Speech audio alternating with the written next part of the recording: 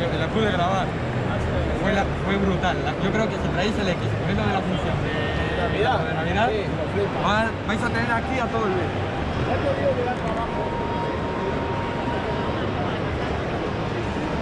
Model S, extrañamente, un Tesla Model S.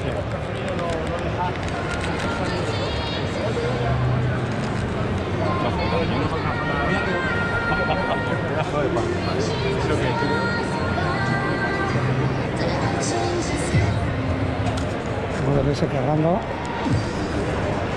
Un transformador.